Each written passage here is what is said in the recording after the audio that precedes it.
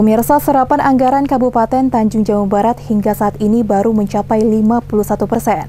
Angka tersebut dinilai pihak BPKAD Kabupaten Tanjung Jabung Barat cukup tinggi dibandingkan pada bulan-bulan sebelumnya. Hal tersebut dikarenakan beberapa kegiatan proyek fisik maupun biaya operasional mulai terserap. Berdasarkan data dari BPKAD Tanjung Jabung Barat, APBD Kabupaten Tanjung Jabung Barat pada tahun 2021 ini mencapai 1 triliun 323 miliar. Dari APBD 1 triliun lebih ini yang baru terserap hanya 675 miliar atau baru 51 persen.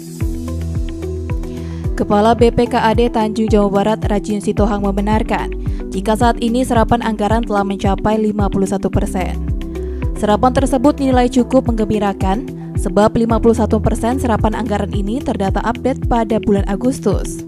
Meski demikian diakui Rajiun saat ini masih terdapat kendala yang mana sebagian besar proyek masih dalam tahap lelang.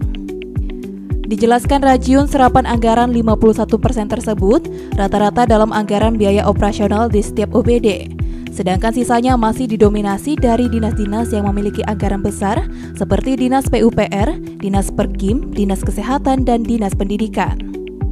Selain itu, saat ini semua kegiatan proyek fisik maupun non-fisik masih dalam tahap proses pengerjaan maupun finishing.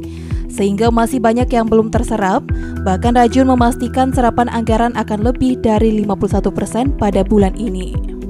Terima kasih Bang. Eh, kalau boleh dikatakan sebetulnya serapan anggaran kita untuk sampai dengan posisi Agustus cukup menggembirakan. Eh, boleh dikatakan sampai saat ini sudah ada posisi 51 persen lebih. Mungkin banyak terserap dari anggaran mana itu? Eh, anggaran sebetulnya karena biasanya memang itu yang lebih besarnya itu pasti biaya operasional. Uh -huh. Karena biaya operasional itu akan bergerak sesuai dengan pergerakan daripada bulan. Uh -huh. Itu biasanya yang biasanya mengalami uh, apa namanya uh, kendala uh, yang disebabkan oleh adanya proses lelang yang akan makan waktu, maka biasanya itu di belanja modal. Hmm. Tapi posisi sampai sekarang ini sudah hampir melebihi 40 persen. Hmm. Mungkin kita. untuk ini nih berapa kalau rupiahnya berapa tuh? Uh, dari belanja 1,3 m telah terserap 675 m.